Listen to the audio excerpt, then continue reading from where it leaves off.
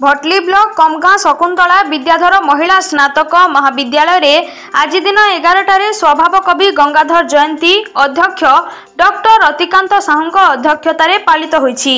ଏଥିରେ ମୁଖ୍ୟ ବକ୍ତା ଭାବରେ ବରଗଡ଼ ଟ୍ରଷ୍ଟ ଫଣ୍ଡ ମହାବିଦ୍ୟାଳୟର ଅଧ୍ୟକ୍ଷ ଡକ୍ଟର ସରୋଜ ଦେବତା ମୁଖ୍ୟ ଅତିଥି ଭାବରେ ବରିଷ୍ଠ ଅଧ୍ୟାପକ ସୁନୀଲ ଅଗସ୍ତି ସମ୍ମାନିତ ଅତିଥି ଭାବରେ ଅବସରପ୍ରାପ୍ତ ଶିକ୍ଷକ ବେଣୁଧର ସାହୁ ଯୋଗଦାନ କରି ଗଙ୍ଗାଧର ସାହିତ୍ୟ ଗଙ୍ଗାଧର ଜୀବନୀ ଉପରେ ଆଲୋକପାତ କରିଥିଲେ ପ୍ରାରମ୍ଭରେ ଗଙ୍ଗାଧର ମେହେରଙ୍କ ଫଟୋଚିତ୍ରରେ ପୁଷ୍ପମାଲ୍ୟ ଅର୍ପଣ କରିଥିଲେ।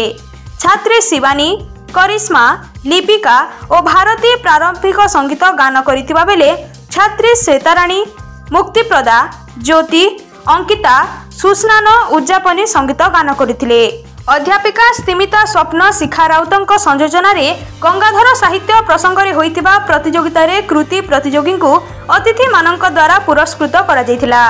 ଗଙ୍ଗାଧରଙ୍କ ପଦ ଆବୃତ୍ତି ପ୍ରତିଯୋଗିତାରେ ଛାତ୍ରୀ ଶ୍ଵେତାରାଣୀ ସାହୁ ମୁସ୍କାନ ଭୁଏ ଜ୍ୟୋତି ବାରିକ ପ୍ରଥମ ଦ୍ୱିତୀୟ ତୃତୀୟ ହୋଇଥିବା ବେଳେ ଗଙ୍ଗାଧର କାବ୍ୟ ଓ କବିତା ଶୀର୍ଷକ ବକ୍ତୃତା ପ୍ରତିଯୋଗିତାରେ ଛାତ୍ରୀ ବବିତାଣ୍ଡି ଦିବ୍ୟା ମେହେର ଋତୁ ସା ପ୍ରଥମ ଦ୍ୱିତୀୟ ଓ ତୃତୀୟ ସ୍ଥାନ ଅଧିକାର କରି ପୁରସ୍କୃତ ହୋଇଥିଲେ।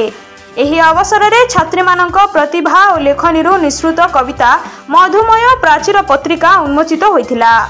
ଅଧ୍ୟକ୍ଷ ଡକ୍ଟର ରତିକାନ୍ତ ସାହୁ ଅତିଥି ପରିଚୟ ପ୍ରଦାନ କରିଥିବା ବେଳେ ଅଧ୍ୟାପିକା ଶତାବ୍ଦୀ ଭୋଇ ଧନ୍ୟବାଦ ଅର୍ପଣ କରିଥିଲେ।